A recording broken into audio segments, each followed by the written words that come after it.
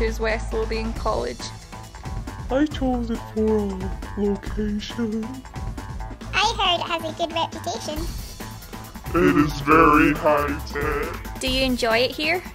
Yeah, Yes. Of course, Why? the people. I enjoy the work. The, The lecturers.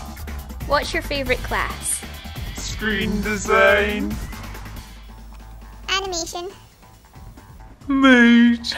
What is your favourite piece of work? This Photoshop I've done on my two best friends.